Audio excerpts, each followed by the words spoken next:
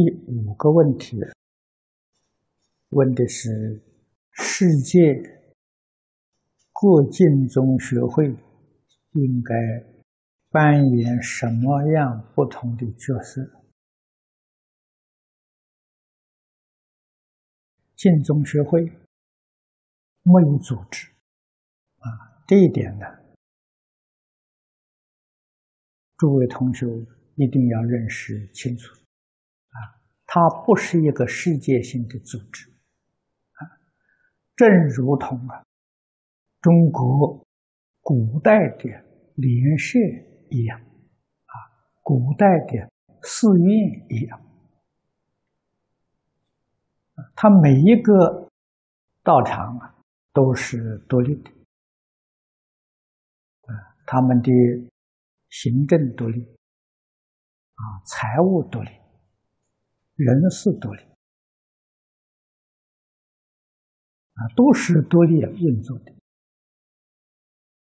晋宗学会也是如此，所以全世界，当然我们希望晋宗学会越多越好，因为这都是提倡念佛法门，都是帮助社会大众。净化人心，啊，求生净土。我们希望每一个净宗学会，在活动方面互相联系，因为现在我们最感到的是人手不足，这个这个弘法的人才，以及这个。临众修学的人才啊，必须互相的协助，互相的支援。尤其现在这个资讯发达，交通便捷，这是这个很容易做到的事情。所以，对于晋宗学会的这个期望啊，就是密切的。联系啊，密切联系。无论这个会的大小啊，这个会员人数多寡，都一律平等的看待啊。每一个会都是平等的，没有统辖，没有哪个会呃总会，哪个会是分会，没有啊。我们从来没有这种概念啊，所以跟其他的这个宗教。或者是佛门里面其他派别的，我们都不相同啊。那么有些确确实实发展的，像这个世间的连锁店一样，归一个公司来管理。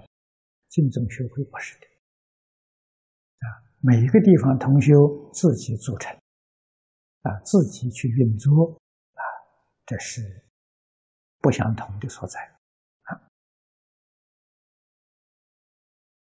第六啊，啊是怎样使各晋宗学会更加密切的分工合作，保持联系，召集全世界晋宗学会在这个地方开联谊会，这个方式啊很好啊，所以只有联谊啊，我们。共同在一起研究、切磋、改进啊！希望净宗在世界能够有更好的发扬光大啊！至于评书，现在我们利用网络啊，利用传真，甚至有些净宗学会出的有月刊。或者是双叶看，这个联系的工作都非常好，啊，所以最重要的是每一个净宗学会都要重视人才的培养。人才不一定呢是出家人，四众同修，我们要平等的培养，只要他有兴趣。如果对于经教有兴趣，啊，我们可以请他出来讲经，啊，居士出来讲经也很多，啊，也讲得非常好，啊，他们也是有修有证，啊，不一定说出家人讲的就比在家人好，这个是一般错误的观念。必须要把它纠正过来。至于临终，有很多人喜欢发气，所以都可以学习。我们要全心全力帮助他。啊，四众同修都能带得起来，这出家人数少啊就没有关系了。啊，所以我们在这个大时代当中。不可以完全依靠出家人，啊，出家人太少了，啊，不是出家人不发心，啊，不是出家人，哎，不肯做，实在是数量太少了，啊，现在需求的太多了，啊，那么我们在家同学自己发心呢是一样的。啊，决定了没有差别，能够把这个正确观念建立就很好。下面一个问题是：老法师对出家人的弘法培训有什么看法、期望？哎，这个是我非常殷切的期望。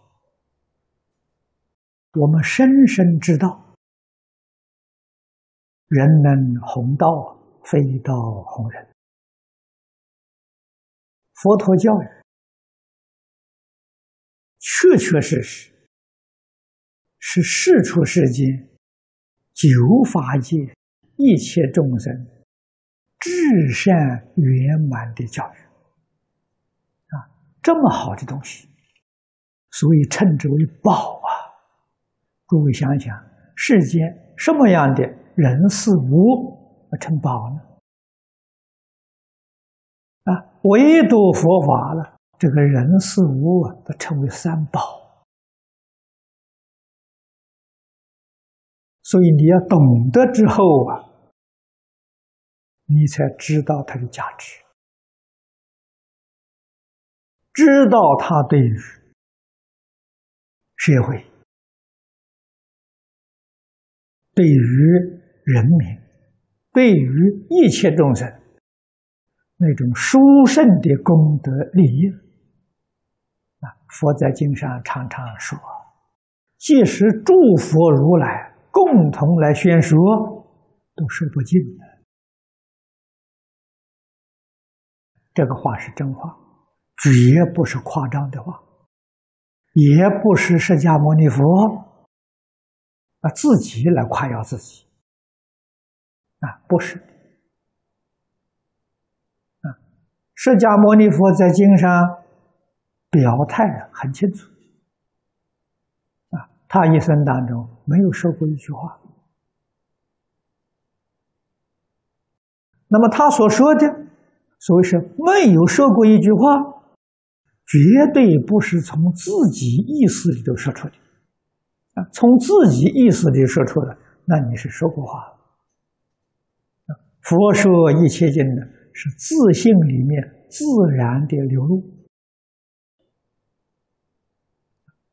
佛门的术语，所谓是法而如是啊，没有丝毫自己的意思，有一点点意思在里面，就叫做造业。你的这个意思是善，那你造的善业。你的意思不善，你造的是恶业，啊！诸佛菩萨不造业，啊！我们对这一点要懂得，不造业就是没有丝毫自己意思在里面。那么所说的什么？所说的是自信的流露，啊！谁的自信呢？佛跟一切众生是同一个自信。换一句话说，释迦牟尼佛所说出来，就是我们自己自信里面流出来的。啊，自他不二啊，哪里是别人的？信德的流露啊，那么现在众生迷的太多啊，觉悟的太少啊，啊，只有觉悟的人啊，他才能说得出来，才能从自信里头流出来。迷了的人啊，他不是从自信流露的。他是从意识里头流露的啊！你看相宗里面讲修行啊，他所提出的标榜着转舍成智啊，这里头做个转变呢啊，怎么转法呢？把自己这个意思通通舍掉，那你就转智。就是自信的心德，自信的智慧，你就转过来了。可是凡夫呢，跟这个恰恰相反，凡夫是转智成实，很糟糕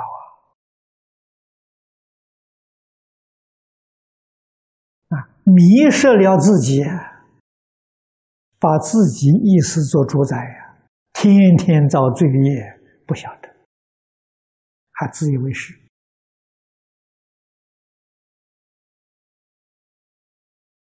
啊。受的些果报，说老实话，还真叫冤枉受的，啊，不知道自己怎么受，啊，然后我们才体会到，世出世间什么东西最恶呢？意最恶，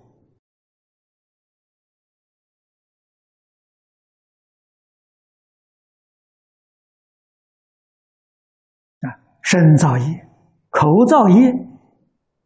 都有限度的啊，那个范围都不大了，都小啊。义务啊，范围太大了啊，几个人懂得这个道理啊？所以培养弘法人才，自古以来，大家都知道，大家都重视。虽然知道，虽然重视，真正发心去做这个事情的人不多。当然做这个事情也需要有许多条件才能办得到啊！啊，这个佛法讲缘呢。我们早年就想做啊，语言不成熟，啊，条件不具足，想做没有法子做。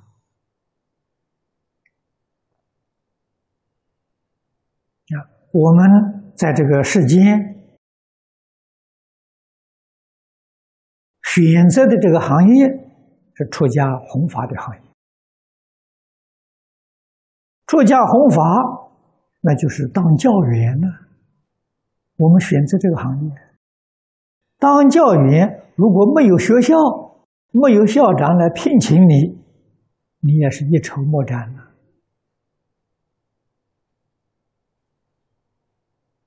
啊，我们很想从事于教学的工作，啊，没有人见到场，没有人来邀请，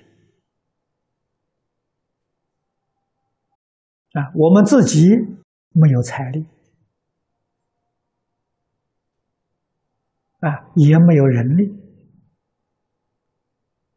啊，甚至于大家都晓得，我一生连道场都没有，一生。都是寄人篱下，都是要看人脸色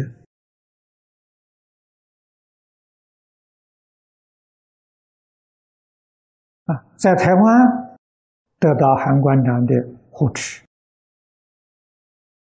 啊！这三十年，我们只是在讲台上讲经，没中断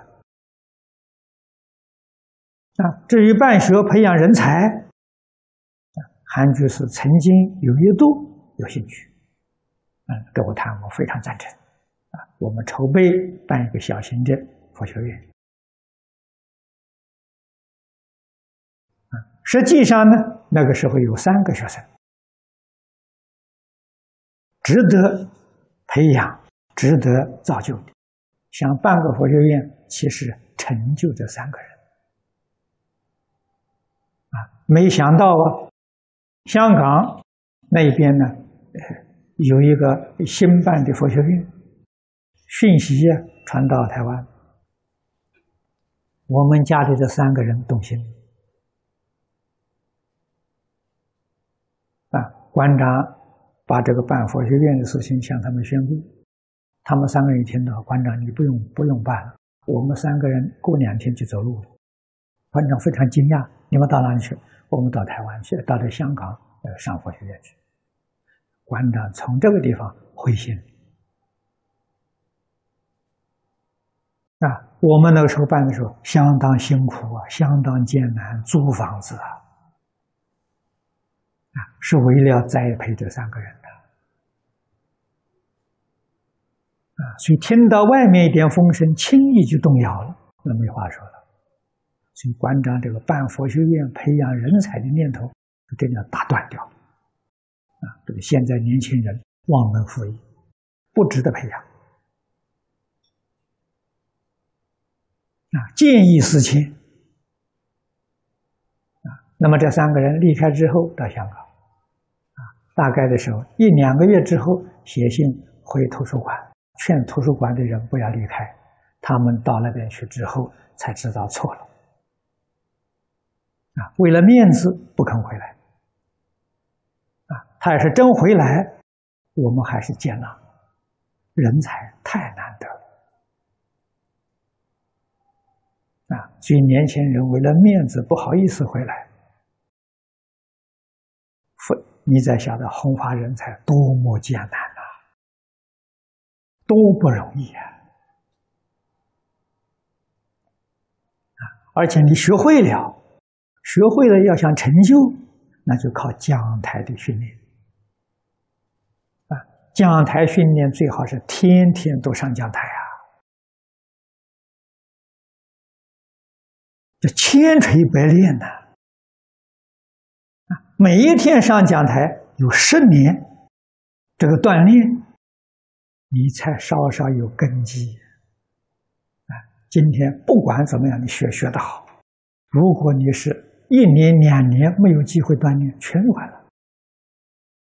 啊，我常讲，三个月、半年不上台就生疏了。啊，一两年没有机会给讲演就完了。所以讲台决定不能离开啊！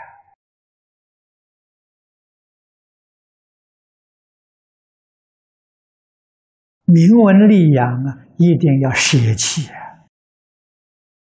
啊，真正发心为佛法久住世界，为一切众生得度因缘，舍己为人，才有感应的。啊，我常跟大家讲啊，真正护持佛法一个人的，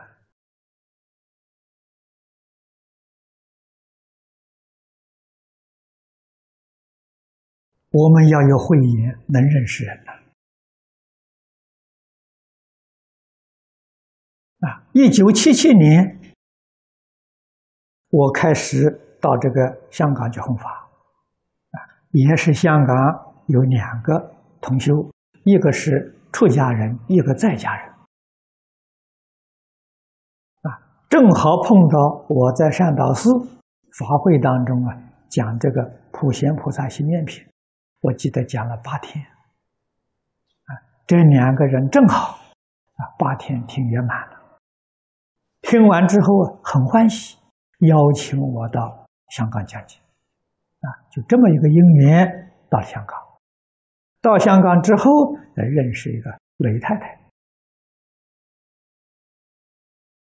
啊，雷瑞莲先生的夫人，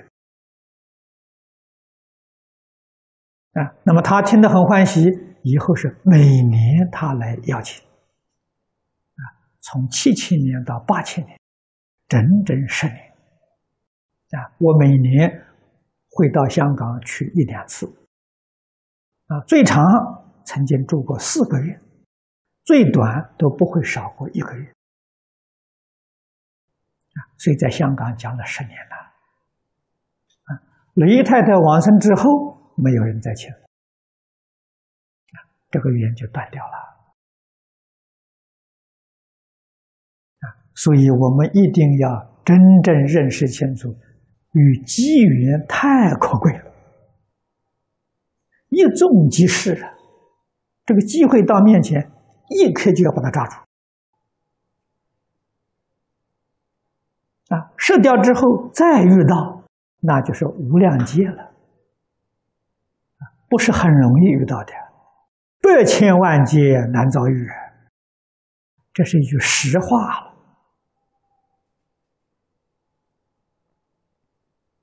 啊，所以我们学这个讲经的同学，无论在家出家，你要记住一个原则：一定要有机会天天讲。不能做到天天讲，一个星期至少要讲一次，啊，最低限度，一个星期不能讲一次，那就非常困难了。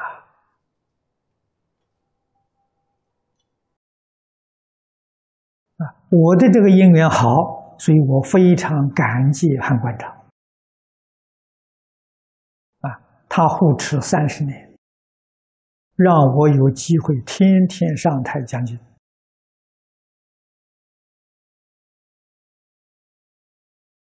他的生活环境很困难，不是富有啊。他找一些同参道友租房、借房子，人数不拘多少，啊，二三十个人、四五十个人都行。啊，我们是练习讲经的，啊，所以我的讲台没有中断的，啊，我最多的时候一个星期讲三十多堂啊。啊，上午、下午、晚上，啊，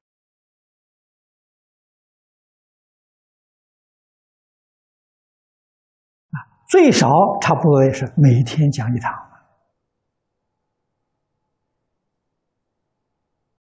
这种殊胜的因缘，因缘非常非常难得，非常稀有啊！啊，所以诸位想一想看，几个学讲经、讲经的法师有这么好的机会？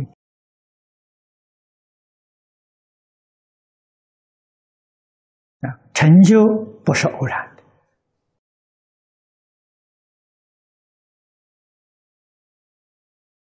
那么自己学到一个阶段之后，能讲，讲的还可以，能拿得出去了，啊，要想方法扩大影响面，啊，那就对全世界弘法，啊，这个事情。我没有说过，啊韩馆长他了解，他认识，啊，所以赞成我到香港讲经，啊，他去开这个门呢，啊，他想方法，啊，让我走向了国际弘法，啊，我到日本、韩国。是他的一个表兄，清度法师啊，在日本邀请我啊，那么到美国，他加入万国道德会啊，万国道德会那批人是跟他是同乡，请万国道德会。聘请我做顾问，随着他们那个团体到美国去开会，啊，我这才拿到护照，啊，那么到美国，我们美国的学生很多。过去我在台湾办大专佛学讲座，啊，大概有三百多同学在美国留学，啊，所以这些同学们知道我去了，啊，都非常欢迎。他们分散在美国各个大城市，啊，于是到处邀请，我美国的发言就出现了，啊，每年都要到美国去一两次，走十几个城市巡回讲演，这个机会带来不容易啊！啊，不是我们主动要求啊，是他主动替我安排啊！